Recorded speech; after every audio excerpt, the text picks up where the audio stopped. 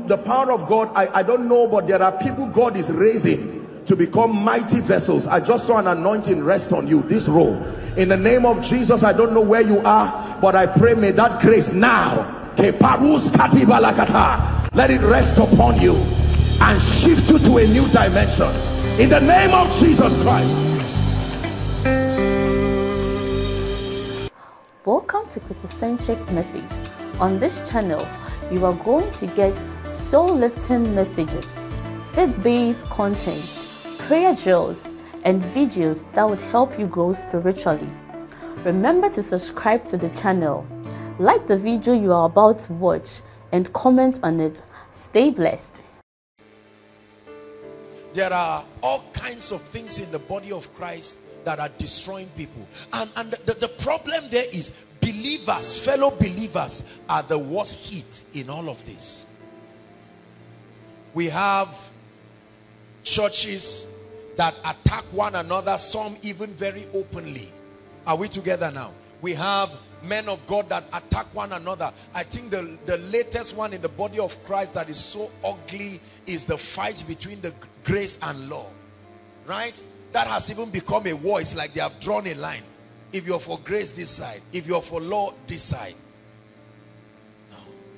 How many ministers have fight men like W.F. Kumuyi, right? because probably deeper life people don't wear earrings they don't wear this. There are people who have hated that man of God and resented him. How many people have fought men like Pastor Chris? How many people have fought different people with philosophies? Listen to me. Let me tell you the reason why we will never see the power of God that we desire. Enshrined in our hearts is this ideology of hatred and bitterness. We fight people around our lives let me give you a few points let me not run. Um, the Lord began to tell me three things that has demonstrated that we do not really have the love of God. Number one, this is what the Lord revealed to me.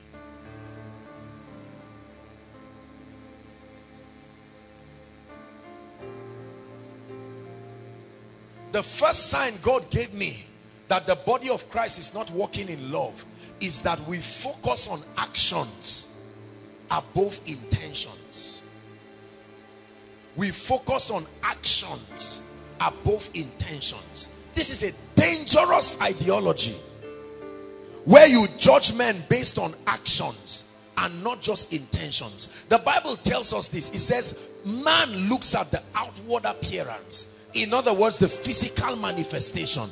But God discerns the motive behind our activities. Are we together? So for instance, for instance, I can be a rapper. Let me just give you an instance. I can be a rapper, a Christian rapper. Are we together now?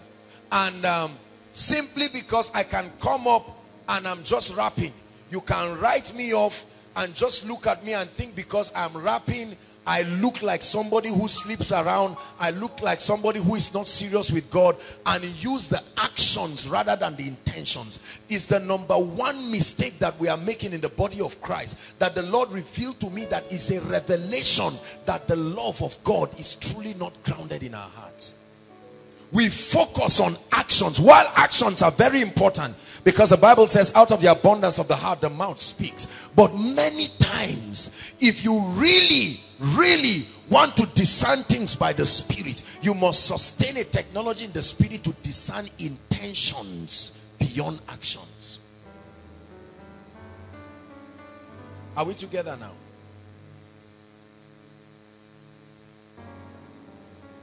A preacher may be preaching for instance and maybe communication barrier or something like that. He may make a statement like um, God's primary assignment is to kill you. Something like that. And all of a sudden a newspaper says, God's primary assignment is to kill you. Caption. Heresy preached by A and B and C. And because we live in a generation that is gullible to hear bad things, we always want to check. Ah, ah, God's assignment is to kill you. Nobody goes to listen to the remaining part of the message and discern the intention. Are we together? And it is based on that we have libeled men of God. It is based on that we have libeled people. How many people are moving around and saying, my mother told me, you will see if you succeed. No. To mean that her actions meant she's she's happy so that you will fail. Is that not true? And then it's, it gets so bad when you now go to a meeting where they say anybody standing against your family, that where even if it's your mother, you say, yes, even if it's my mother, you take that anger and say, my mother told me, or maybe my father said you are a failure. They may not really mean it. They may be communicating pain at that time. If you have the ability to look at intentions beyond actions, you are a wise man. Intentions. As I work with people, I always try to discern the intentions, the intent of certain things. Physical actions are not guaranteed. They are not the best way of truly revealing our intentions. A wife can come to her husband, for instance, maybe out of frustration about his carelessness, and she can make a statement out of pain and say, look, if you don't, if you stop giving me money, make sure you are not going to be eating in this house. And the husband says, oh, if I don't give you money, I will not eat in this house. If I give you money, I eat in this house. You claim you are a deacon in your church. Is that what they are teaching you? No, husband, look at the intention. What your wife is trying to say is, I'm hurt by your irresponsibility and I would love you to do something about it. Are we together? Listen, you are you become an exceptional leader, an exceptional believer if you sustain the ability to discern intentions. We have we have created seditions in our families. We have grouped ourselves into two. A family of five people. Father and his favorite. Mother and the other three people. Because of our ability to judge intentions. You look at a man whose face is like that. Whether he's happy or not, his face is the same. You just look at him and say, this guy is a wicked person. You look wicked, I'm sure you are wicked. Whereas that person is the nicest person you will ever meet in your life. Have you seen people like that? I don't like this guy. His face is mean. It's not the person's fault. The person is like that. Your, your face is this. You will never get a wife or you will never do this. We, we judge actions more than.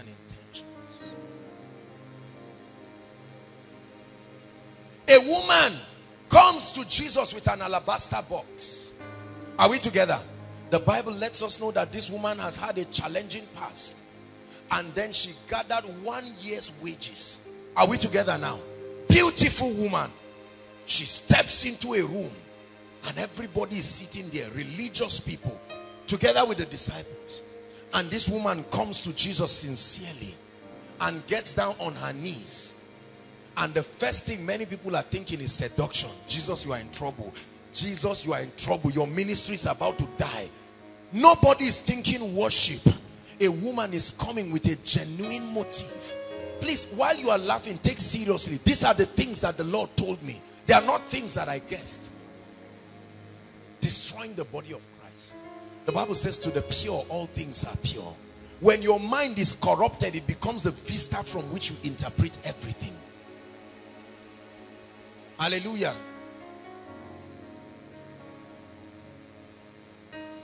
And she kneels down before him. And the Bible says she takes her alabaster box, breaks it at his feet. Right? And the aroma and the, the fragrance just rises as an incense of worship. That represented her worth for one year. And she broke it. And the Bible says she used her hair. Hey! Her hair. And then began to clean his feet. And Jesus did not do anything about it. I'm sure the disciples will say, Jesus, you better don't play games with us here. What is going on? Madam, where do you know this guy? That you come and break alabaster box. And Judas, ah, why are you doing this? You would have gathered everything and let's give it to the poor. The Bible only records what Judas said. He didn't tell us what the remaining said. I can assure you he was not the only person that spoke. But Jesus said, don't, don't stop her. That was the word of God, the bread of life. He was looking at this woman's incense. And he said, everywhere they talk about him, they will also make reference to this. Are we together now? He was able to look at her intentions. A woman who was caught in adultery, they never brought the man. She ran and came to Jesus Christ. Right? I mean, they pushed her there and they said, this and that and that. And Jesus looked at them. And he saw that woman. She felt sorry for herself. She felt sad. And she was just hoping there would be a hand to hold her and say, you can start again. And Jesus looked at all the sycophants and the religious people. And he says, he who has no sin among you, be the first to cast stones. When you learn to judge the intentions of people, I counsel people a lot. Are we together? And I talk to pastors, I talk to leaders. There are times a man of God can come and meet me and say, man of God, I need you to pray for me. I love God, but I'm dying, I'm dying of immorality. I can easily look at that person and say, you, ah, are your members aware that you are dying of immorality? I look sincerely and the only thing I tell them is, rebels don't come to God. They run away from him. When you come to God, it's a sign that you are not a rebel and I look at him. How many times have we injured the wounded soldiers in the body of Christ because we look beyond we don't look at intentions we look at actions. Are we together now? Love. A husband looks at the wife and finds out that there is another man who has been suffering and out of compassion she's trying to help him. And he says if you are having an affair tell me now let me kill you and kill myself. Why don't you come down and say okay I, I, I see your motive that you really want to help this person but I'm a bit uncomfortable with it. Why don't you structure it and do it this way and that? Do you know this simple thing I'm telling you has broken marriages has scattered churches? Are we together? Has produced eternal enemies men of God who never see eyeball to eyeball brothers and sisters all kinds of people. Because we are experts at judging actions above intentions. Learn this tonight if you are in this you are short-circuiting the glory of God from your life. Meaning he can never send to you a lady who comes to you and say man of God I've been involved in abortion 12 times. You say young lady are you seeing that door is still open? Forward march. No. No.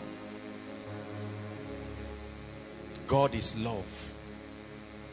The Bible says for he causes the sun to rise on both the just and unjust.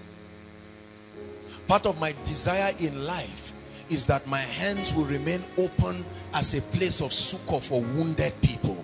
That every time they look around and there is nowhere they can run to they can find a heaven that we can clean their tears and wash the garments together and by the grace of God koinonia will remain that place. We will never drive our wounded soldiers. We will never drive people that are far away. There are people who have given their lives to Christ but for some reason because of pressure maybe family and all of that they derailed and they got into all kinds of things. Every time we meet those people do you go to church now? Say man of god i've not gone to church. You are such a stupid person. Jesus helped you. You would have died that day blah blah blah blah blah and you are a disappointment to the kingdom.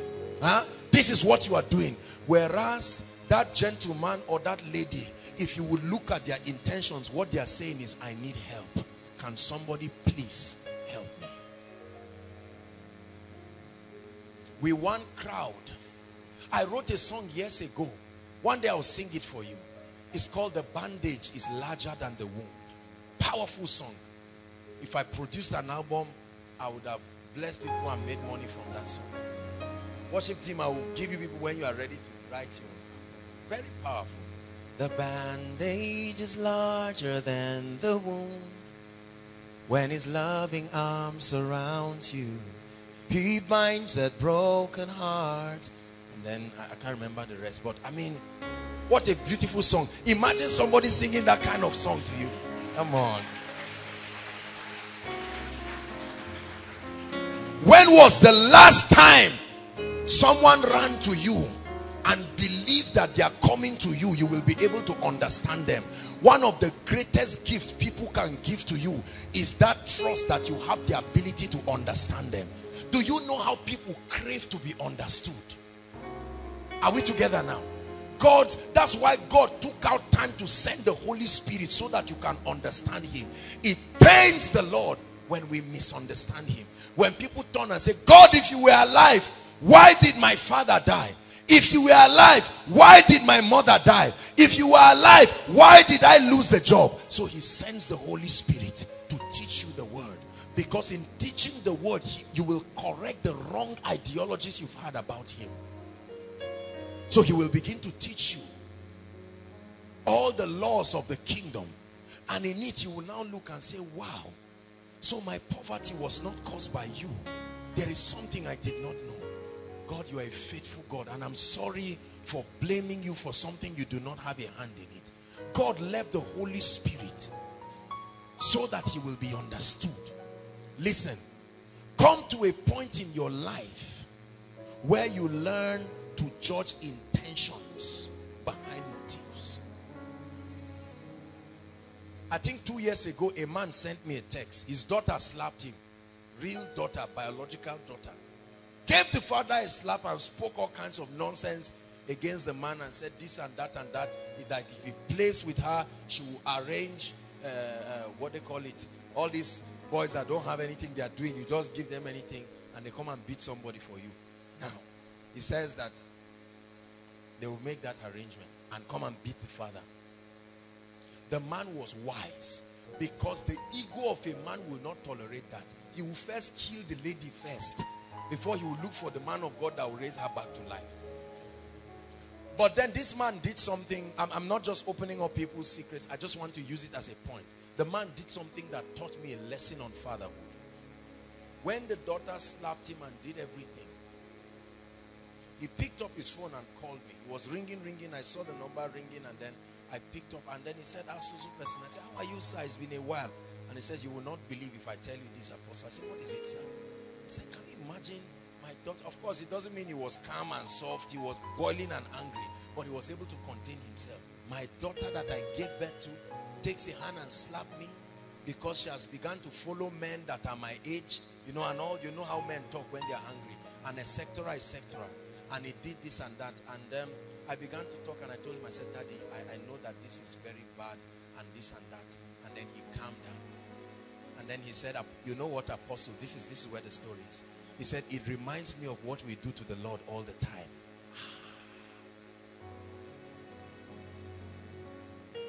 I felt ashamed. At once, I just, I felt, oh God, how many times did I slap you from morning till now?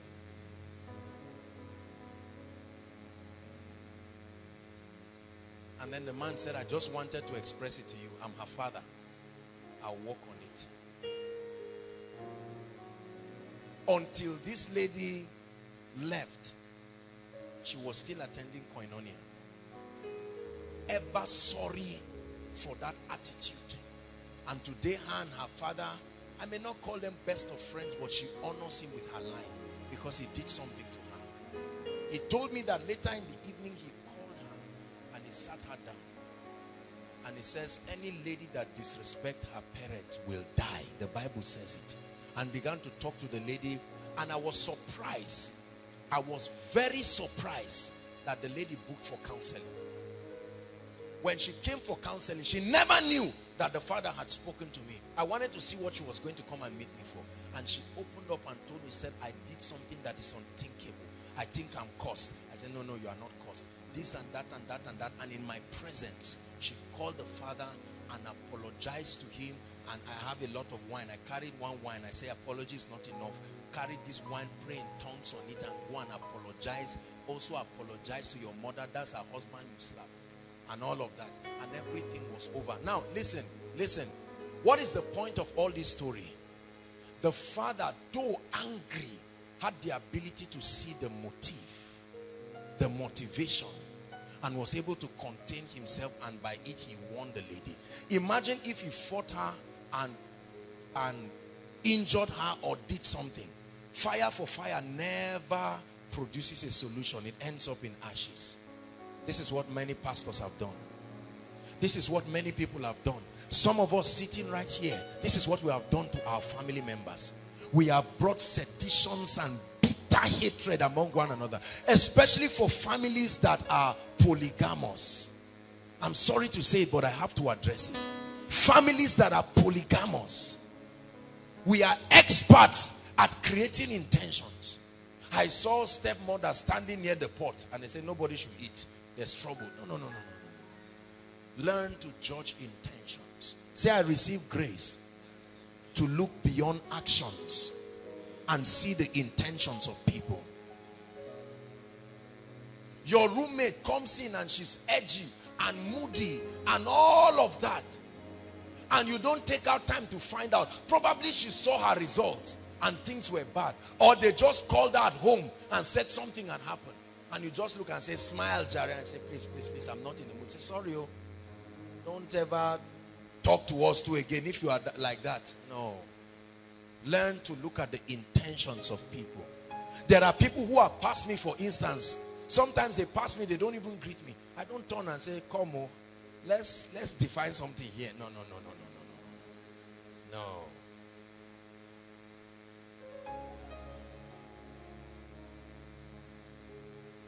Men will love you and they will give their life for you if they know that you are one person who has sustained the ability to look beyond the motives.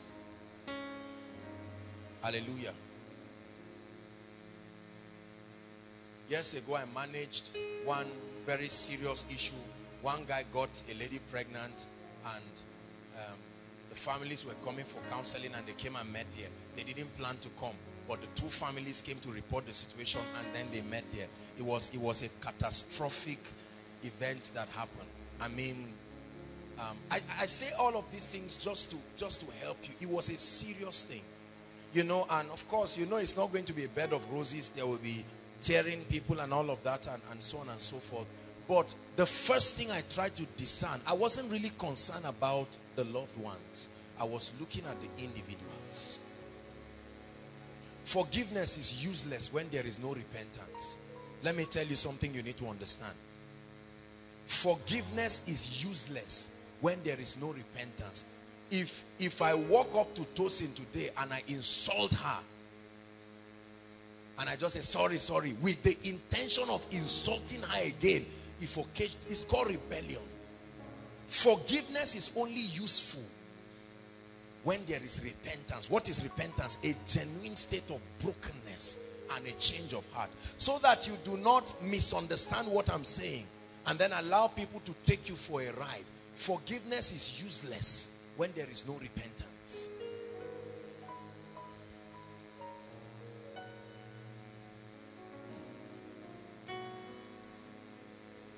The second thing the Lord showed me that communicates lack or the absence of the love of God in the body of Christ and among believers is that we hate people and we fight people for sustaining perspectives that are different from ours. This is a big one. We hate people and we fight people for sustaining a paradigm that is different from ours. Is a major mistake I've seen in the body. The moment your thinking is not like my own Joshua Selman, I hate you. The moment my perspective is not like your own, I hate you. And this is probably a, a very big one, especially among denominations. Because we have tremendous hatred. There are people who will see a lady or a guy from another ministry or another denomination and never knowing the person, they already have anger and hatred and resentment. There are people for, for putting on a watch like this, he can already be angry. Are, you getting what I'm saying? When you just dressing well is enough to create anger. There are people when you see somebody who doesn't dress very well, you are still angry. It's, it's, it's, a, it's an issue of concern, but not enough to be that angry. We fight people who do not sustain similar ideologies. This is what causes trouble between siblings at home. This is what causes trouble between pastors. Are we together now? Listen, if you really want to love people, you must have an ability to respect people's perspective about life. It is very important. The whole world cannot be koinonia. The whole world cannot be Joshua Selman. Let me guarantee you, if the whole world is like me, this world will be a mess. I repeat, if the whole world is like me, this world will be a mess. I know you like me because I'm preaching. You have not seen how boring other areas of my life are. Trust me, if you know how boring other areas of my life are, how about coming to meet me wanting to crack a joke and all I'm telling you is scriptures? Do you like that? Well, forget about the guys. Ladies, do you like that? Do you want to marry that kind of person?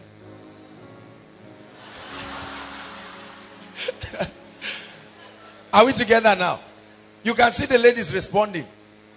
It's easy to see me preach and think, oh, this is wonderful because you are seeing revelation. But let me tell you one truth. Listen, brothers and sisters. If you don't learn to respect people for their perspectives, if I make you, if I make Pastor Femi, for instance, the president of ENI for one year, you'll be amazed at the remarkable changes that will happen in the ministry. You will find out that Koinonia may step into another dimension. Better ideas, better creativity. However, you must have the ability to um, respect people's ideologies. This is why some pastors can never be invited to preach in other churches aside from their churches. I've preached almost everywhere. I've preached in Cherubim and Seraphim. They like me. Two of their branches, I've preached there. I've preached in Anglican. I've preached in uh, um, um, um, Catholic, ECWA, COCIN, Lutheran. I've preached open air crusade. I preach all kinds of things. The one with no name, youth group, charismatic, everything. You know why? Listen.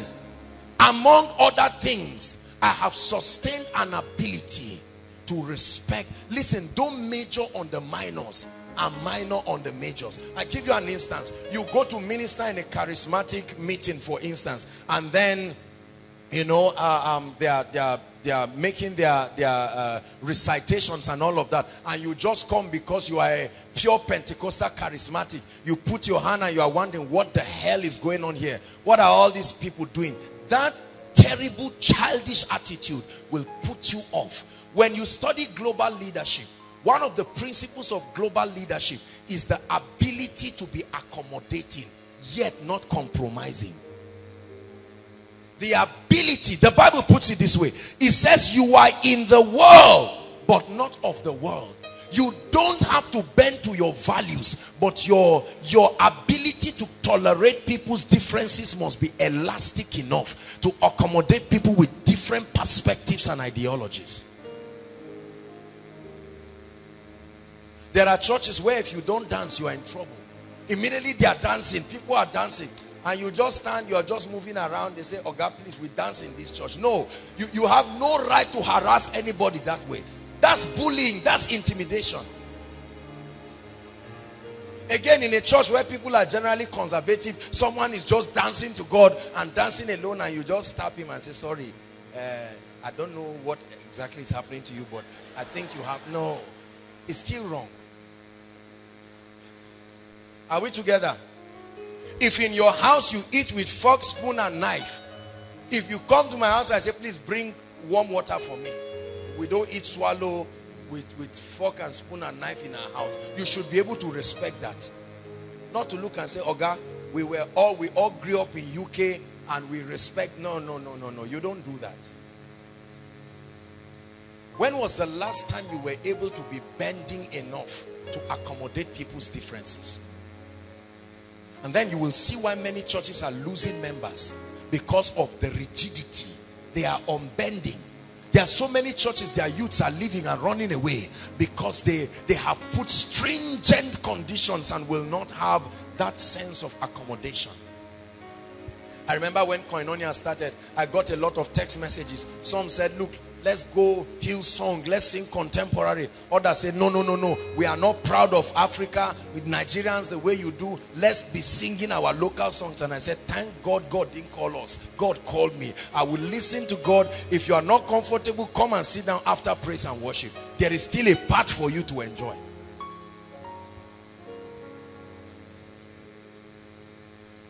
Are we together? Love. Don't fight people that sustain a perspective that is not your own. There are churches, for instance, there are men of God who preach with audio visuals. You see them, they, they have to use PowerPoint. Are we together? Because of the nature of the teaching grace upon their life, they take root words together and put them down and they want to make you understand. You may come from a, a ministry where the moment they say, praise the Lord, somebody shouting under the anointing. Now you go to a place where you sit down and somebody is trying to join this word and there and say, please, I need solid food. I, I, I, what is all this? Uh, don't I know the meaning of art or of? No. We don't have that accommodation is robbing us. We never are able to see the power of God. There are churches that I go to, I know that they don't pray in tongues publicly. I will minister there, you will never hear me pray in tongues once. It doesn't mean I've stopped believing in it. But I must be able to make that adjustment so that the people can receive. Are you getting what I'm saying now? Absolutely. There are churches that may not give that kind of accommodation for you to be jumping around like this. You can't go to a church, for instance, a core Orthodox church, and when you are shouting, the next thing you climb a chair and you are giving an illustration, or you come and tap one elder and say, Prof, come, come, come out, come out. Let me use you as an example. You are messing up. Listen, learn what I'm giving you wisdom. Learn this. Some of us, out of our zeal, you think everywhere is like your church. No. There are churches for putting water on this table. You are, you are going to answer a lot of questions. Not even to talk of five alive or banana or apple, you are in trouble. Apple, what for? But there are churches, if you don't do that, they will query you. Are we together? You come and you see banana and orange. Don't just come and say, are they, why are they not eating at home? now? No. Don't do that. I'm teaching you how to love the body because these are the things that cause trouble. Are we together? This keyboard that is playing now, there are churches when a man of God stands, everywhere becomes silent. No drums, no moving around, no camera, no snapping. No even saying yes. You know, like you respond, but no, no, no, you don't do this. This thing you are doing now, this laughing. No, you don't do that. You are silent and you maintain an attitude of sober reflection. That's all right. That's all right. There's absolutely nothing wrong with that. There are very few hymns I don't know. That's why when I get to any church, hymn book or not, once you raise the hymn, I will sing it. I think it was in, in, in, in um, All Saints or so that I went to minister, I think a year or two or so ago. And then uh, I was telling them that I can, I can recite the Apostles' Creed beginning to end. I was a seminarian. I still am. Archbishop Benjamin Kwashi prayed, prayed, prayed and hoped that I would become a seminarian. But God just decided to call me. I'm still a seminarian. Hallelujah. What is your level of accommodation in the body of Christ? Can an ECWA church invite you as a pastor and you can go and bless the people without breaking people's hearts and doing all kinds of nonsense? Can a Catholic church invite you and you go and get blessed? This is how some of us behave even when we go to certain families. You see men behave like that. You go to the family, you find out that they remove their shoes in front and you just step and march and enter and they say, sorry, sir. They are even trying to tell you, you embarrass the person you are taking. And the lady is trying to say, my brother, I don't know how to tell you, but please just remove your shoe. My mother is a very neat person. I'm not ready for trouble here. And they say, what is all that? According to what the Bible says, if you enter, he that receives a prophet, and you start bringing all kinds of childish things, and you leave that home and cause trouble for the people. The mother now looks and says, are these the kind of useless pastors that you move around with? Let me not see you with any of them. You must be accommodating, yet not compromising. I will never fight anybody who sustains an ideology that is different from me, including the Muslims. Most of the people, most of the people who have the cars, that's why there are many churches Muslims hate them because they hate Muslims. Are we together now? No. Terrorism and an, an, extremist mindset is not the same. I have met a lot of Muslims that are absolutely nice people. Of course, anybody without the Holy Spirit, there's no guarantee to the person. But I'm telling you, there are people who have been able to sustain certain abilities. One, one of my drivers used to come, his, his, um, he has some three children. I've never seen well-behaved Hausa girls like that. They came to visit me one time during Salah. And after, you know, they brought small food for me to appreciate me and all of that. And then I gave all of them one 1,000 naira. And all of them, in concert, they kept tiny children. Ale Saka the Alheri. Ale Saka the Alheri. I said, my goodness, when was the last time a tongue-talking Christian child, you say, baby, how are you? say, bring it, and he's even crying. This is what we have trained our children to do. Yet we have the audacity. Listen, the Bible says he sends the sun. He makes the sun to rise on both the evil and the good. The only place where you see love is when an accident happens. Everybody rushes to rescue them because they don't want to care who is who. There are some of you, your destiny helpers sustain a paradigm that is different from yours. And if only you could make that adjustment, they can take you from where you are. Maybe the boss, you went to look for a job and you found out that the boss comes from a denomination you hate. And you just turn and say, this is it. See, let me tell you the truth. If you don't change your outlook about the body of Christ, the body of Christ can never be your church alone. I've told you again and again, stop thinking koinonia, think kingdom. Koinonia is only a small fraction of what God is doing. Joshua Selman is only a contributor to the thing that God is doing. That's why you never see anybody come and stand up here and say, I called upon the God of Joshua Selman. Call upon it, wonderful, but in your room there. Don't come and infect people with an ideology that makes it look like it is just God of Joshua Selman that answers. God of this, God of every true believer answers. If he doesn't answer, you don't know him, you don't know his ways, or he's not your God in the first place. Many men of God are embarrassed so you go to a place. How many pastors, brothers and sisters, go for meetings and many of them cannot preach because of the presence of certain pastors. They go somewhere, I'm a grace preacher. Now I can't preach because this person believes in deliverance or believes in casting out of devils. Or the person who is preaching deliverance now sees another person who particularly doesn't believe, maybe everybody. Let people, listen, I want you to know, as I say this especially for ministries, because I'm speaking apostolically. Listen, listen to me, listen to me. I want you to know that fundamentally, the motivation of every true believer is to love Jesus and to serve him truly. This is the common denominator that binds us all. Are we together now? There are people I love passionately who we do not share the same spiritual ideologies. They may not be comfortable with the dimension of the operation of the Holy Spirit in my life. I may not be comfortable with certain levels of revelation. But it does not, is not enough reason whatsoever. We crack jokes about other things. Listen, the key to friendship is to concentrate on your similarity, not your differences. When you want to make money, focus on your difference. But when you want to make friends, focus on your similarity. The anger and the bitterness is growing in the church. The enmity is even becoming, have you seen people? We are the members of this church. We are the members of this sect. We are the members of this prayer house. We are the members of this place. And then these ones come. We are the members of this. We are the ones for Apostle Joshua Selman. This one, we are the ones for this and that. These ones, we are Anglican. These ones, we are this. And all of them. And women of God are destroying the body of Christ because we are raising people who are like political loyalists to a party rather than raising people who are kingdom conscious. Let me tell you what is making, if we don't correct this, most of our youths, for instance, who come to meetings like this and test certain superior levels of the word of God and the power of God, Some of them go back to their churches and then they don't go back with a heart of love. They go back with cynicism and hatred.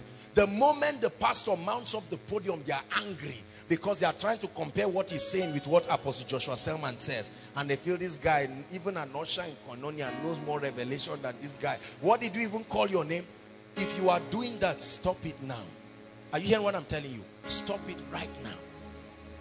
There is more to a pastor than the ability to preach. Wisdom, experience, pain. There are too many things that qualify a man to be a shepherd. Preaching is only one of them. You may differ in ideologies, but I want you to know that you must sustain that ability that whether it is Anglican or Catholic or deeper life or cherubim and seraphim or whatever it is, the truth is that any true believer that loves the Lord with his heart and professes the name of the Lord Jesus Christ deserves that reception. And there are times that to blend, you may need to make adjustments, even though temporal adjustments. You must make the adjustments if I go to minister, for instance, in maybe All Saints and the rest, I'll not start um, raising songs like um, Shalom, Shalom. No, no, no. How many of them know that song there? I'm going to raise a powerful hymn. And you see our mothers lift up their hands and thank God. I will adjust in a way that will open up their spirits to receive what God is saying. Is God giving us wisdom? This has destroyed the body of Christ. Some come and say, I am for Paul. Others come and say, I am for Apollos. Others come and say, I am for Agabus. And we men of God love it. We pride ourselves in all this political thing. There are men of God who never see eyeball to eyeball. They never pick one another's cause. In Nigeria, men of God have sent assassins to other people. No, no. Are you not amazed that whether it's Pastor Chris's crusade or Benny Hinn's crusade or Reinhard crusade or um, um, Dr. Olukoya's crusade or W.F. Kumuyi's crusade, you are seeing miracles happen. You are seeing God. At least we know that these people love God and they are serious. You can't say they are fake. Are we together now? It should tell you that if the same God who showers his anointing and grace upon them, he knows what he's looking at the exact requirement. Brothers and sisters, let's not forget that it's the same heaven we are going to. Heaven doesn't have branches. So this annoyance and this resentment that we have against one another, it should never be that way. Lord, make us instruments of your peace. Where there is hatred, let your love increase. Lord, make us instruments of your peace. Walls of pride and prejudice shall cease. When we are your instruments Never become an object of division in the body of Christ. Don't become the reason why the church becomes divided. Hence, powerless. Don't be the one sowing seeds, the one sitting down to gossip and compare men of God and compare who has revelation and who has anointing in the meeting. Don't let that devilish thing be part of your life. You must be able to embrace the diversity of the body. God knows the reason why he left every denomination. The full church is what will reveal Christ any denomination you kick out will produce an incomplete church. Let me tell you the truth. Those of us who have this religious advocacy to wipe out other denominations and eventually have our denomination stand. No, sir. No, sir. It's deception from the pit of hell. I came from an orthodox background. Before I received the baptism of the Holy Spirit and I started walking in the power of God. And I thank God for that orthodox background because it's what has kept character in me right now. I'm sorry to say it, but a lot of Pentecostal charismatics, because of our understanding of the kingdom, there is a lot of carelessness and imbalance. That's why a pastor can be preaching yet he's sleeping around and he says, no problem, whatever happens is, a, I mean, God is a merciful God. That foundation, they didn't get me filled with the Holy Spirit, but they gave me a basis of understanding. I remember then in the seminary when when we will have you must your quiet time it was it was now he's, he's now i think he's now uh is he a venerable now? I can't I, I don't know what he is right now. God bless him forever. Forever. A man who changed my life. He wrote a quiet time manual. We will recite scriptures every day. Every day whether you like it or not you must recite scripture your quiet time manual you must do it. Whether mechanically or religiously you shall must do it. Because they they supervise all of those things. I was trained in the anglican. You never greet somebody standing to look at the person like this. This is how you greet bowing down no matter how tall you are. If two of you are fighting outside three things will happen. One they will call you and have a brief bible study. Second they will whip all of you the offender and the offendee, they whip both of you. Once they are done, number three, one will kneel down and you pray, lay your hands and pray for him. He will stand up, you, you will kneel down and you pray for you. I'm serious. Case closed. I told you we are raising a, when we start our schools, that's the way we are going to train the people. I tell you, you can bring your children to our school and go to bed because we will train them, whip out flesh, add the things that are of God and produce people of character We don't just want people who are doing well. We want people who are living well. Hallelujah. But right now, what do we have in the body of Christ? I go to minister all the time. And the moment I'm entering, usually there are crowds of people, everybody looking, where is he coming? And you see different men of God trying to square their shoulder. Me too. My name is Pastor this. I'm the pastor of this, this revival movement. And I just come and I greet them. Well done, sir. When I come up stage, I start by saying I honor every man, every woman of God, the pastors in this city, we see and we appreciate your contribution to the advancement of the kingdom and you see all of them squaring up. Now you are talking. You are appreciating us too. And all of a sudden their heart becomes open to the meeting. People who would never some of them maybe even talked about me but just that five minutes their hearts are open. Listen listen. People fight you when you try to trivialize their contributions. Never trivialize people's contributions no matter how little Don't look at your father and mother one day and say, I've had many people in my life who have, who have built me. I'm happy to say you are one of them. No, they are not one of them. They are your parents. Are we together now? Yeah. People usually fight you when you give them an impression that their contributions are small or worthless. There are ministries I may not really have any much revelation to learn from them, but I can learn leadership. I can learn excellence. There are ministries I can learn prayer. Part of the reasons why God has anointed me so much is because my heart is open over the body of Christ. I love the body of Christ genuinely. Take away the hatred you have for certain denominations, certain men of God. You know it, I've told you. I never talk against any man of God. I don't care who. Never. You will never hear it from my mouth. I repented years ago and it will never happen. If I ever mention the name of a man of God is to say something commendable because I myself will stand before the white throne and I will be judged. You're my brother, you're my sister. So take me by your hand. Together we will walk until he comes. There's no what? That stands between us. Hallelujah. So it's a major mistake. How much do you love people and are able to accommodate? There are people who are talkatives. They are noisemakers. All their falling down has not removed it. Don't try to change it. Create an adjustment. Their mouths are like that you are going to frustrate yourself trying to change it there are others who are it would take you praying and fasting to get good morning out of them get used to it are we together now I like this man of God, but I hate his wife. She talks too much. Sorry, she's his wife. She's already married.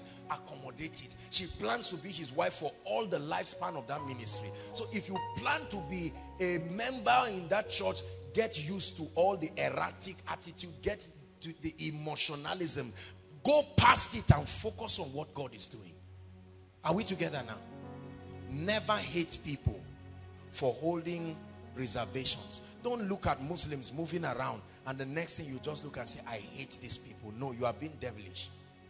That's a Luciferian spirit because God sends, he makes the sun to rise on both the evil and the good.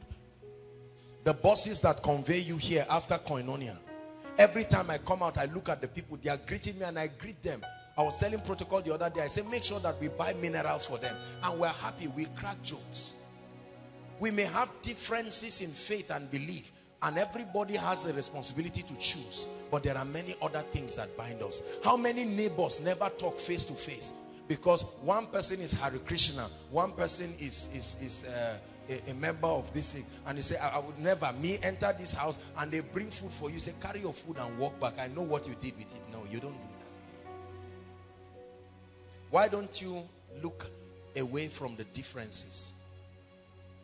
I may not believe in deliverance. I may not believe in demons. I may not believe in whether uh, uh, trouser or hair or whatever it is. I may not believe there is heaven.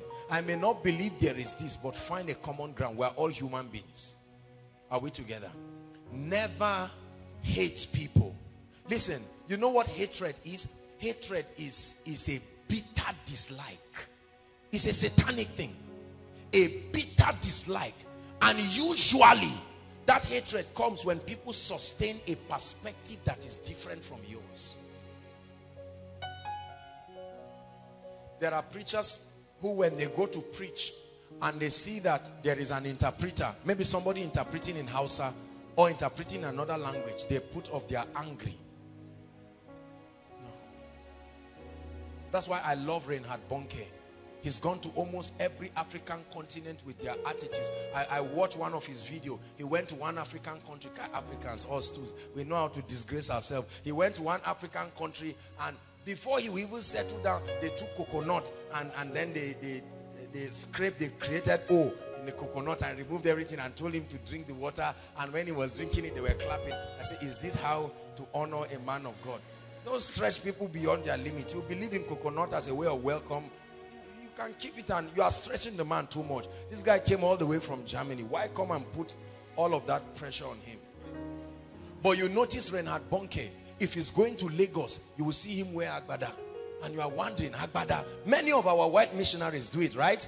You see them struggling to tie this thing, women tie. They can't do it well, but they are doing it anyway. And every time you see that, it blesses you. Love. Do you love the body?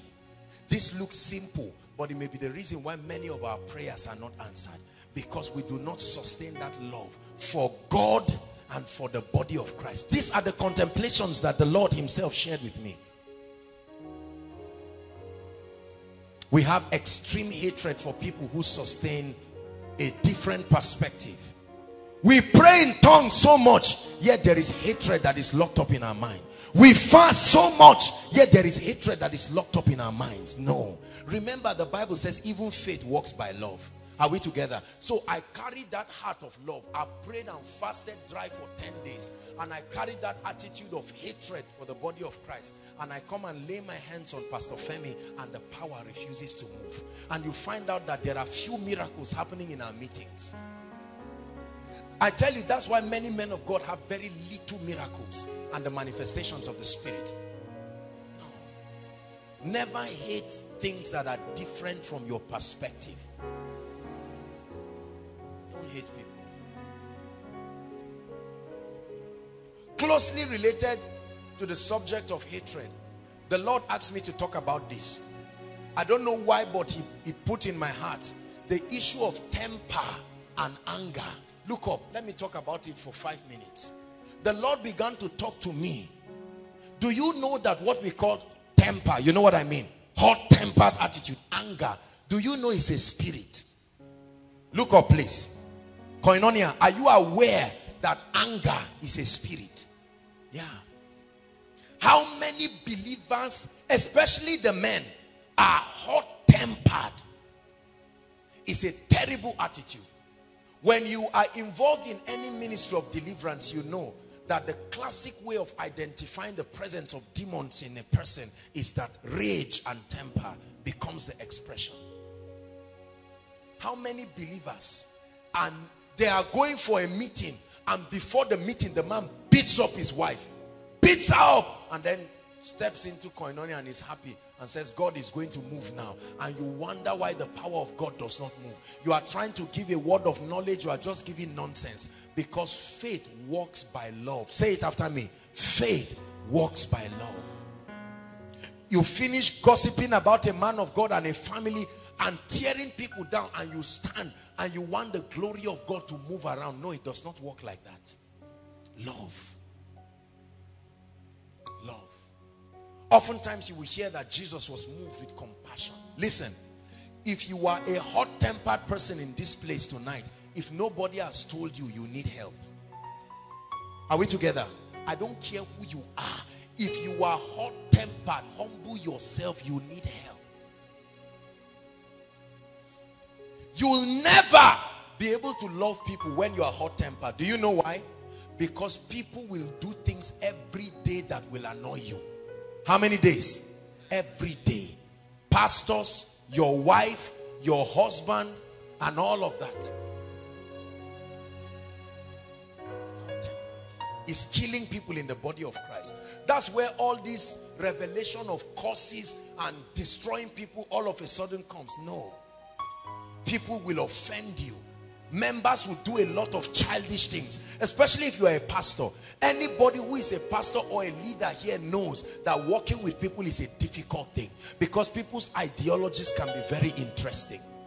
But do you sustain that ability to be cool and calm? Many marriages are breaking today because of temper hot temper the lady hears the man talking about something maybe he's talking to his sister and he says sweetheart how are you? And the woman keeps quiet. The man doesn't know what is happening. The next thing he sees um, a knife. She just stabs him and says i didn't mean to do it but you just killed your husband. As a true christian i don't care what degree of tongues you are praying. When you become temperate the ability to absorb pain and pressure and yet be calm. Listen, especially for we young people, is one big secret of a healthy marriage. Hot-tempered people are dangerous people. They can do anything. See, closely related to that, every time you are angry, let me tell you how to manage it. Keep quiet. Because when you speak in anger, the devil will take hold of your tongue and you will say things you cannot retrieve back. The Bible says the birds can carry your words and take it far beyond your reach. If you are angry at my preaching, leave koinonia. After all, this is the, and then next Sunday, next week, you come and you find out that all the members are angry. They are going to say, No, no, no, I don't mean that. What is the meaning of that? Can't I at least be angry? No, no. Never justify anger and that hot-tempered attitude. God is speaking to many of us here. Great people. How many of us have been robbed of the opportunity? We have lost friends because of temper. We have lost relationships because of temper. We have lost destiny helpers because of temper. We have lost anointings and graces because of temper. Tonight, God is calling us to love people. Your must be very accommodating. Factor it as part of your life that people will annoy you every day. Every day. Hot temper. is too much in the body of Christ.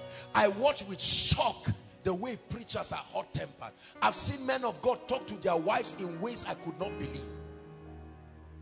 A man turns and talks to his wife as if she's a piece of rag. I counseled a case recently. A woman who was thrown away by her husband, a pastor. For two months, she was sleeping outside. Outside doesn't mean another place. Outside, on background. She will carry a wrapper in the night and you, you throw her outside. Two months. God is my witness. Yet that man will come to church on Sunday and dance and sing. Who is deceiving who? Temper. How many pastors beat their wives? I mean, beat to matching them and say, I will kill you. How many pastors punish members because of anger? Kneel down, raise your hand, as if it's as if it's, it's they paid school fees. They, they, you, you gave them money to come to. People innocently come to your church. You punish them and make them look like idiots. All these things we are doing, let me tell you, is very, very bad. And the Lord is not pleased with it. Temper. Say in the name of Jesus. Shout it in the name of Jesus. I receive grace to walk on anger and temper. Yes. You will destroy more people than you know when you are an angry person especially for our sisters. Do you know the Bible says it is better to stay on the rooftop of your house than to live with an angry woman? Think about that. That you carry your mattress on your zinc to stay there rather than living with a woman that is contentious and angry. These are the things that short circuit the power of God. So we are fasting, we are praying, but there is temper, there's resentment. Do you know that if I'm angry with Tosin and I hate her, if God gives me a prophetic word for Tosin, that word will be corrupted because that word will rub off on my unrenewed, my angry mind. Especially if what God is telling her is a good thing. Prophesy to her that God will lift her. And I'll now say God will lift you, but God is saying you should mind the way you talk to men of God. No. That one is no longer God. Are we together?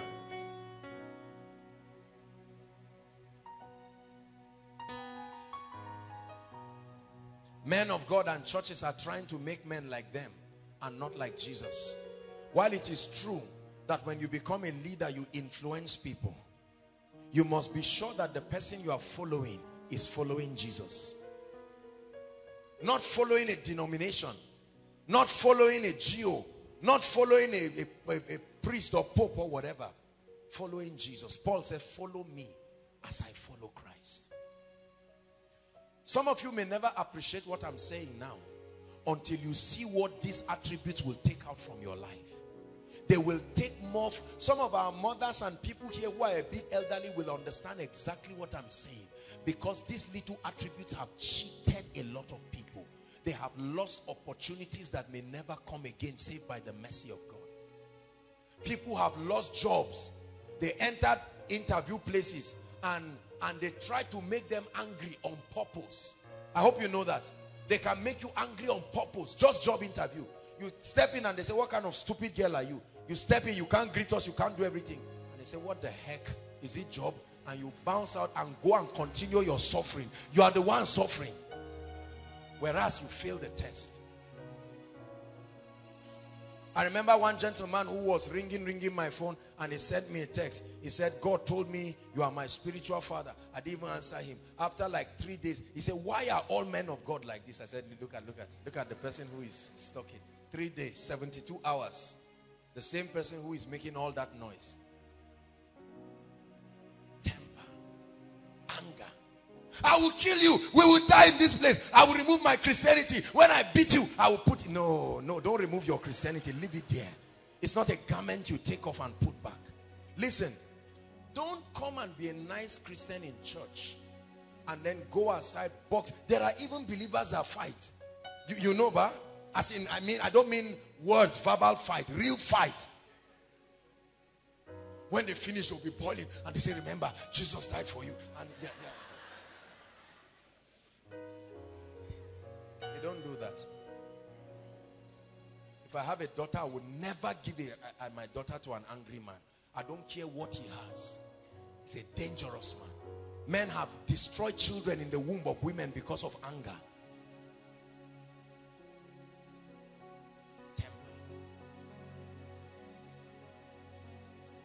This is your house, your home. We welcome you, Lord, we welcome you. This is your house, your home. We welcome you.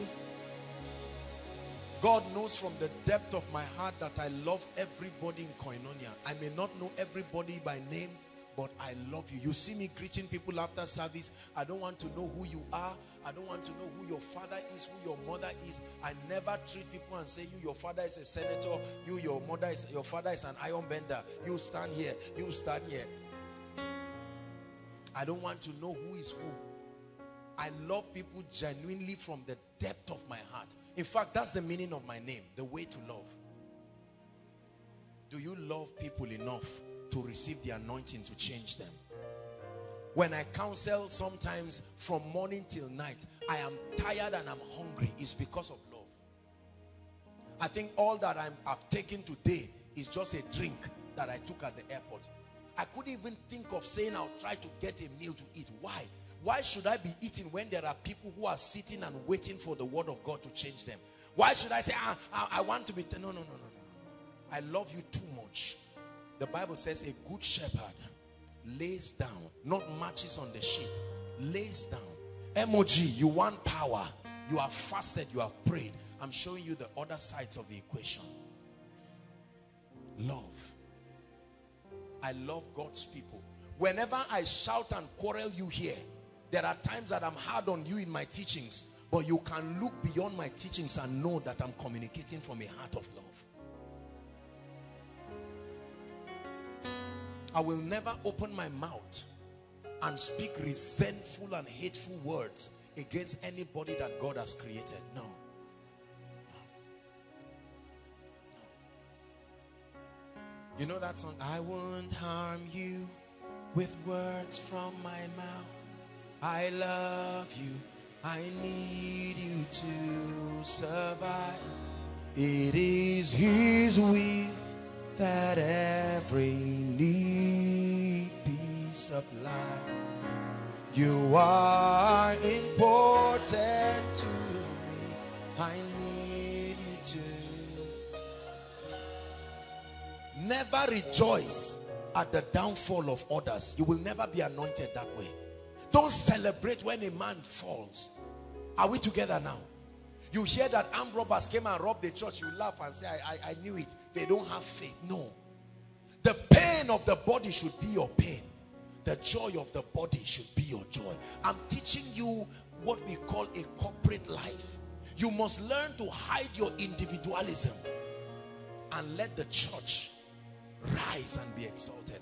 And sometimes you may need to constrain your honor and allow the body when people send a lot of miracles, text messages with many things that have happened, sometimes I send it to the workers. You will never hear me use words like my ministry or my church. If you hear me use that, it, it was a slip of tongue or something that just happened because it is never my church. I'm only a steward. It's never my ministry. Before I was born, God was still at work. If, I, if he tarries long after I'm gone, I will only be one of many that has brought my contribution. I will never look down on the body of Christ. I will never look down on any man that is made in the image of God. I have seen people who look like nothing and within one, two, three years, God raised them. Some of us were like that. If we were to follow based on the standards of men, some of us would probably not be able to enter some of the places we're entering right now. But God has the ability to see the motive of men's heart. That's why many of us who think we are qualified never receive anything. And there are others who approach God and we say, Lord, if there is any vessel you are looking for, find one in me. I never forget where he's brought me from. I never forget what he's doing in my life. I love him with my life and I love his word and I love the body of Christ. Everyone say after me, I love the body of Christ. I love God's creation. Do this little thing, brothers and sisters, and you will see doors open. I know many of you will be expecting me to say something great and something charismatic. Never trivialize what I am teaching you right now. Not only will it give you character, it will sustain your open heavens. As a pastor, people never become loyal to you until they discern that you love them. Many pastors hate their members. They only use their members.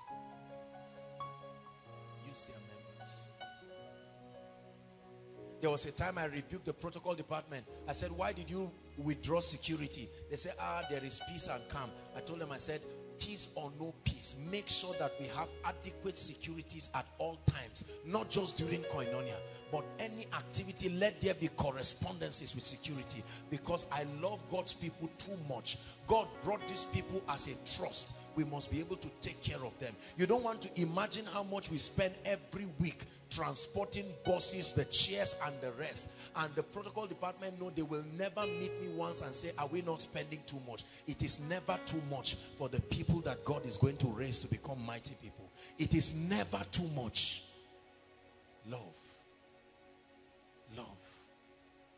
There remaineth these three. Faith, hope, and love. But the Bible says the greatest is love. Let me show you one scripture as we round up. One scripture that has blessed me so, so much. First John 4 verse 16. Please media, give us First John 4 verse 16. These words came very strong upon my heart. And I pray that it will be strong upon your heart the same way it came upon my heart. Go ahead and read. Let's read together.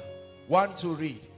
And we have known and believed the love that God had to us. Listen, he said God is what? He didn't say God has love. He didn't say God loves. He said God is love. And then, this is what he says. He says, he that dwelleth in love, dwelleth in God and God in him. Not he that prays in tongues. He that dwells in love. Your life becomes like a magnet when the love of Christ is at work in you. Listen, there are people on this earth, when you stand close to them, you literally feel the love of Jesus like a river flowing. You know there is nothing you do that will drive them away from you. They love you. May God make you such a person in the name of Jesus Christ. This is one big secret of the anointing of the Spirit upon my life. Every time I come for koinonia and I sit down here, I watch the protocol department doing their thing, the ushers doing their thing, and the love of God falls upon my heart for them. As I stand and see the way they are struggling to make sure things work, I never come here morning or afternoon to supervise what they are doing. Sometimes as early as 8 o'clock in the morning, they are already working doing everything and I look at them every worker in koinonia they know that I love them with my life not just because we, we put dinners for them. I love them with me. I will give my life for the workers. I will. And I mean it with, with, with, with no missing words. I will never watch somebody come around me who is hungry.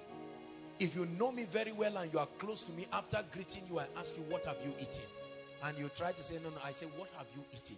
If it is 500 naira that I have, we will share it. Listen, brothers and sisters, when the heart of love is at work in you, power will never be far from you.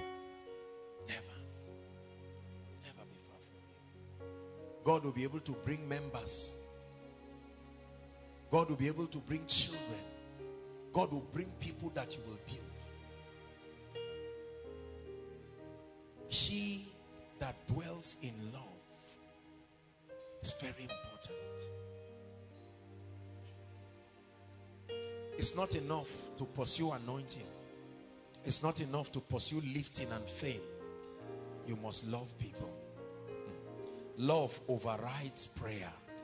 Love overrides fasting. First Corinthians 13. I just feel we should round up there. First Corinthians 13 as we round up. We are going to examine ourselves and our love lives as far as God is concerned. God is doing a circumcision in our hearts tonight. For though I speak with the tongues of men, look up everyone, and the tongues of angels, there is no man alive who has entered this spiritual dimension where you can flow in the tongues of men and the tongues of angels. And the Bible says, even if you get to that realm, it says, and have not love. Can we have a version that says love if there is? It says, I am become as what? A sounding brass or a tinkling cymbal. In other words, if I become such a man of God that I can speak both in the tongues of men, right? I am nothing. Verse 2. Let's hurry up, media. Please help us. Verse 2. And if I have prophetic powers, is that not what we are looking for? We are looking for it passionately. Chasing every man of God with handkerchief and, and oil. Somebody met me in a meeting and just he just opened it and said, Man of God, breathe on this oil. I mean, I just said, God bless it. It is done. He just closed it. I said, You see the kind of thing we're talking about. If I have prophetic powers, the gift of interpreting the divine will and purpose. He says, and I understand all secret truths. Come on now. This is the realm of Rhema. Insights that we are looking for. The Bible says, even if you rise to that point and you possess the mysteries and possess all knowledge, then it says, if I have sufficient faith, no one on earth I know has gotten to that dimension so that you can remove mountains but have not love. The bible says i am what?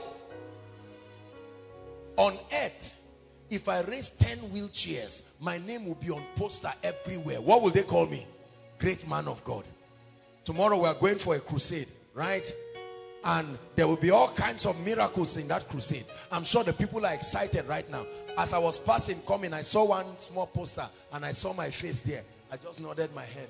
And, we, and I mean, we just passed. I, I, saw the poster, you know, it's in Barnawa. The crusade is in Barnawa tomorrow. Barnawa for Christ crusade.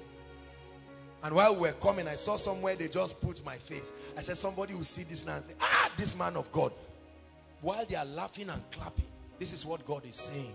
He says, if I have all this power to raise wheelchairs and prophesy and teach mysteries, and I have not love, based on men's standard, I'm a great person. They will give me money, they will sow into my life, they will deceive all these deceitful things that happen. But the Bible says, I am nothing, empty, zero, useless. Verse 3 Even if I dole out all that I have, I dish out the giving dimension now. Even if I give out everything I have to the poor in providing food, and if I surrender my body to be burned, or in order that I may glory, but I have not love, he says, I gain what? Do you know what it means to give yourself to die?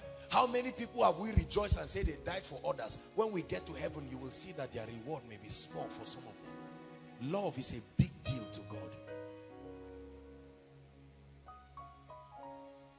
Love endures long. Now give us King James. We're ready to be kings. Give us King James. Charity does what? Suffers long. The word long suffering, there's the word patience. Now, everywhere as I read on, wherever the word charity is, Except your name is Charity. I want you to put your name there. Ready? We'll just read it. One, two, read. Joshua Selman suffers long hmm, and is kind. Joshua Selman envious not. Read it. You are reading it.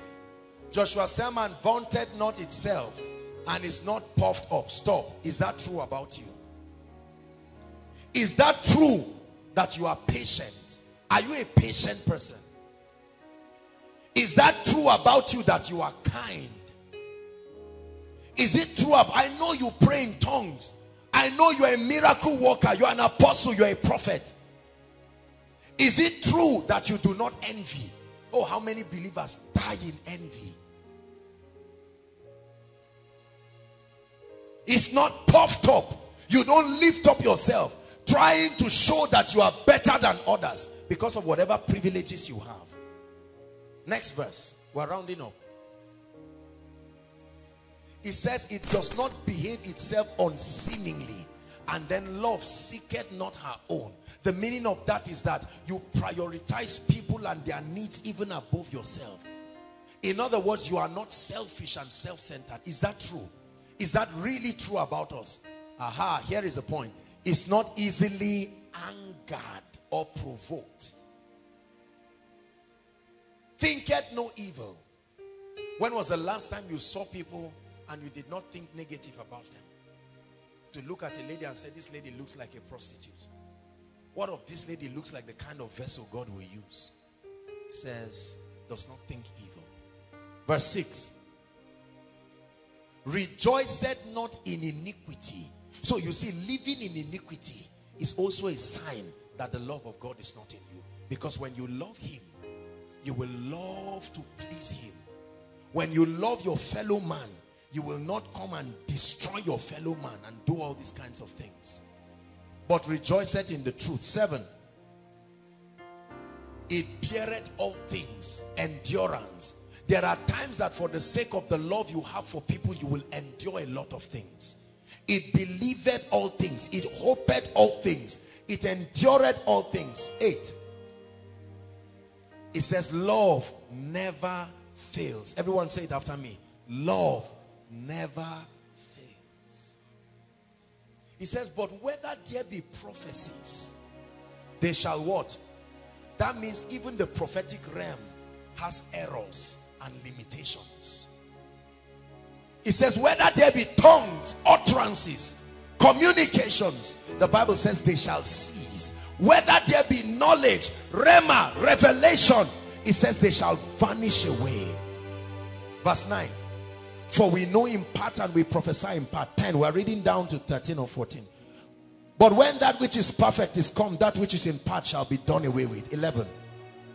When I was a child, void of love, I proved it by speaking like a child. I understood like a child and I taught like a child. Tonight's teaching is making us become matured people. It says, now that I am a man, I am matured. I put away what? Childish things. That means something about your speaking must change after tonight's meeting. Something about your understanding must change after tonight's meeting. Something about your thought life must change, your action.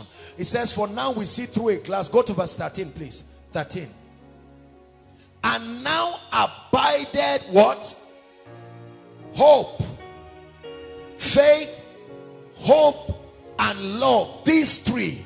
It says, but the greatest is love. What is the greatest? The greatest, brothers and sisters, is not building a ministry. The greatest is not becoming a man of God. The greatest is not becoming a custodian of kingdom mysteries and revelation. The greatest is not just having power and anointing. No. The universal set is love. At the end of my life, I want this to be said about me. That I love God with all my heart. I served him with all my heart. And that I loved humanity with my all. I don't want no credit to my name that I built houses and bought cars and um, what happened? I traveled abroad. I own jets. I own all those things. Thank God for them.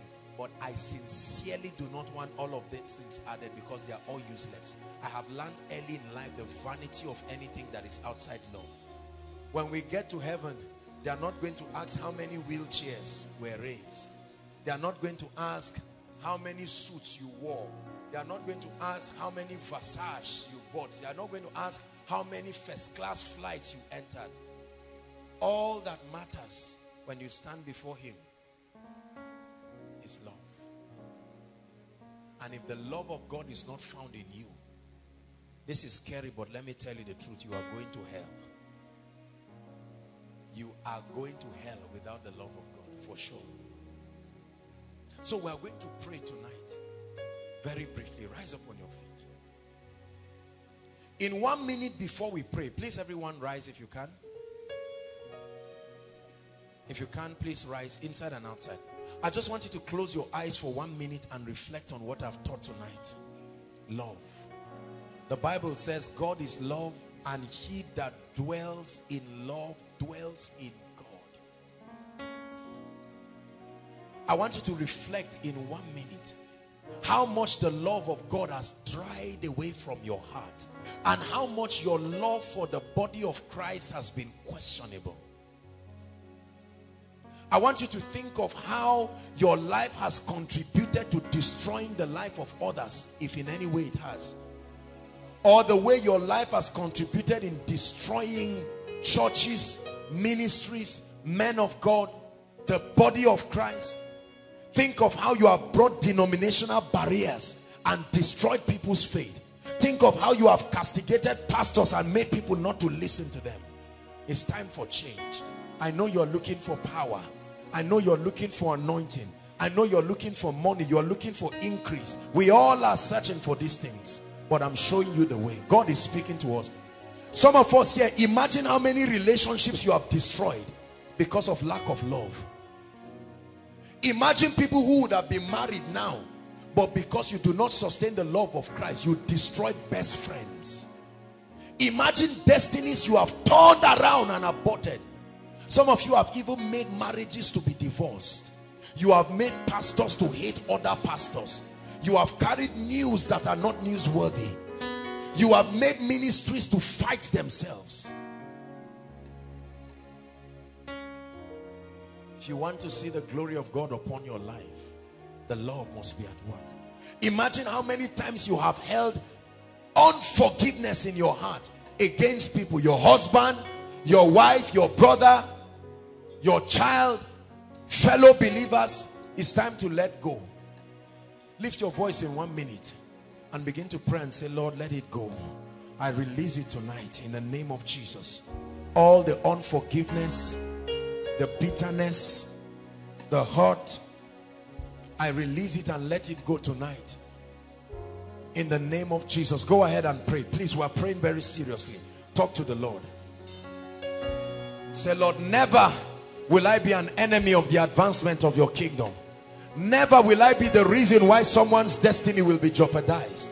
Never will I be the reason why the body of Christ will crumble. I repent of ignorance. I repent of childishness. The Bible calls love the bond of perfectness.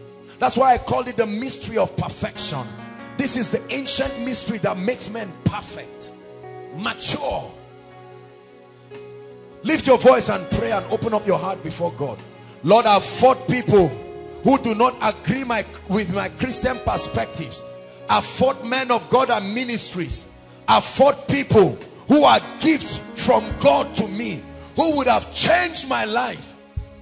But I've resented them because of their ideologies. I have hated people of other religions. I have hated people who sustain a different perspective to life than my own. Anybody who is not like me becomes my enemy. I repent tonight in the name of Jesus. Lift your voice and pray. Walk upon my heart. Walk upon my heart. Change my heart. Change my heart. No more hatred. Lift your voice and rebuke the spirit of hatred. It's a spirit. Hatred is a choice. You can choose to love and you can choose to hate if there are people you hate and you hold on in your heart i like you to begin to release them right now i release my mother i release my father i release that pastor i release my church i release this denomination i release my wife and my husband hatred is a choice love is a choice Hallelujah. Two more prayer points very quickly. We are going to pray against anger and that hot-tempered attitude. Please listen. If you are here and you know you are suffering from anger, you're not going to come out. But I want you to be honest and pray and say, Lord, I'm tired of this thing. It's destroying my life. It's destroying valuable relationships. Don't pretend and say I'm a this and that. Open your mouth and pray. Temper Sisters, make sure you pray. Brothers, make sure you pray.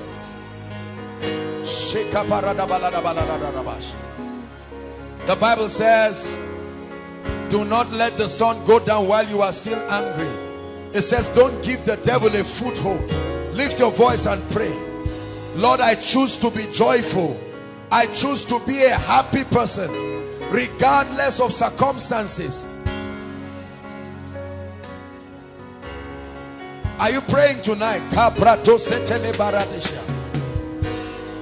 I cause the spirit of anger from my life. I cause the spirit of anger from my life. I cause the spirit of resentment and cynicism and unforgiveness and bitterness and hatred. I cause the spirit of anger, that hot-tempered attitude that hurts others, whether with words or actions or thoughts. Pray it out of your life. Pray it out of your life. I'm a changed person tonight. I make up my mind for change. I make up my mind for change. In the name of the Lord Jesus, I want my life to host the glory of God.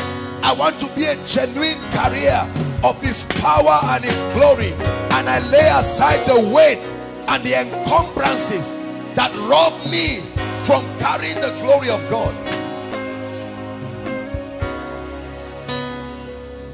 hallelujah last prayer point. Let's hold hands all over this building. Hold the hands of someone. I'd like you to pray for yourself and pray for koinonia. Passionately from your heart lift up your voice and say lord like a mantle may your love come upon everyone and upon the house. Go ahead and pray. Lord a baptism of love in every department among the leaders among the executives. Pray for love. Pray for me. Pray for love. Let the love of God that bond of perfectness be at work in my brother and my sister. Now pray for the person whose hands you are holding. Pray. You don't need to know them.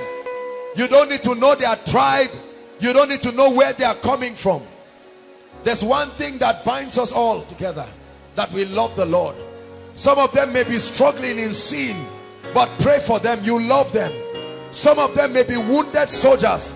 They may have made mistakes. They may have messed up in different areas. But you must pray for love. Pray for your family members. Many of them may not deserve your love but I'd like you to pray and say Lord the love of God in my heart the love of God across my neighbor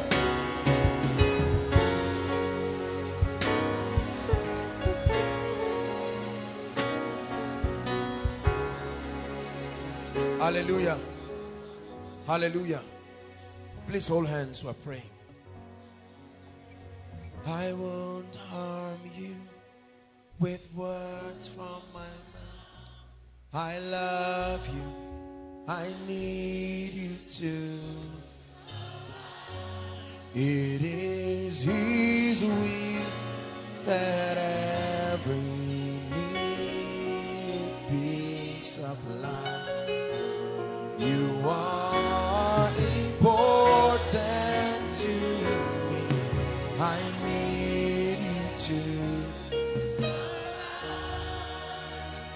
Never make your life from today. Never make your life an accommodation. Never make your life an accommodation for hatred and bitterness.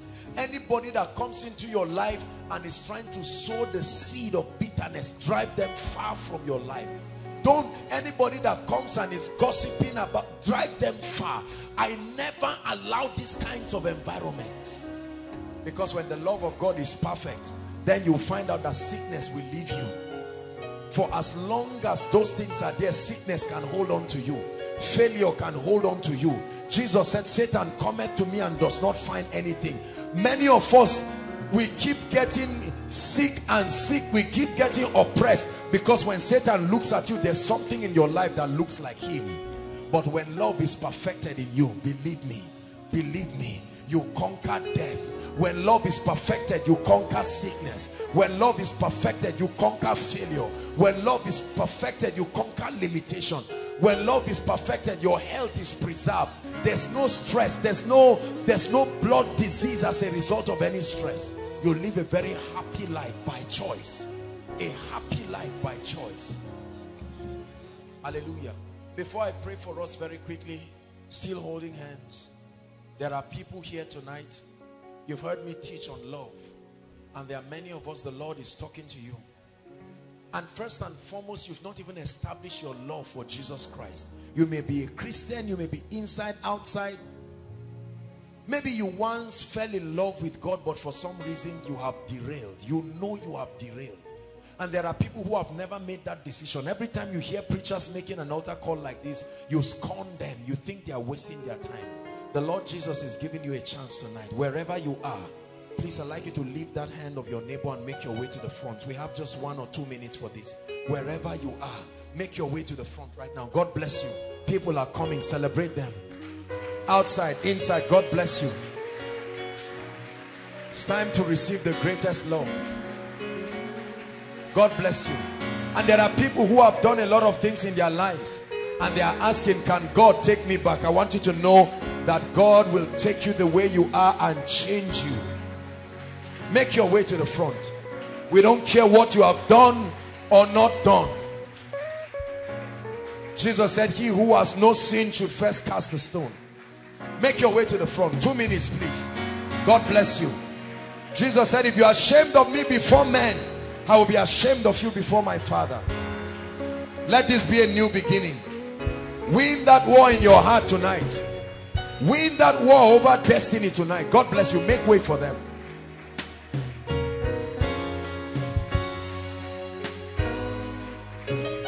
Hallelujah. Thank you so much, ladies and gentlemen, for coming out. We love you. Everybody at one time or the other has had to make this decision. God bless you, my dear. Join them. Bless you, my brother. If you're still thinking about it, just rush out quickly. I want to lead you to this prayer. Some of you are crying. Don't be ashamed. It's a decision that will change your life. Lift your right hand. And I want you to say this after me from the depth of your heart. You're not reciting a poem. Let this be. I want you to know that Jesus is in this place. Say, Lord Jesus, I've heard your word tonight. And I declare that I love you with all my heart. I ask you to forgive me. I've lived my life the way I want. Now I hand over that life to you. Take that life and use it for your glory. I receive eternal life into my spirit. I declare that from today, I'm a changed person. My past is gone. My past is over. A fresh start begins for me today. In the name of Jesus Christ. Now keep those hands lifted as I pray for you, Father. You brought these ones to change them and bless them and we thank you. Some of them have gone through things we cannot imagine. I pray that tonight will be a fresh start for them. Some of them are giving their lives to Jesus for the first time. Dearly beloved, I hope you were blessed by this message. I want you to keep doing something for this man of God, our man of God, Apostle Joshua Selman. And that is, I want you to keep on praying for him that the cause of the gospel may have free flow in him, that he may be granted boldness to continue with his commission of Jesus Christ, and that all provisions be given unto him as he continues in this journey of Christianity. And then don't forget to like this video don't forget to hit the subscribe button if you are new here don't also forget leave a comment in the comment section and then keep sharing keep sharing abroad and let's all keep sharing jesus. I'll see you again. Bye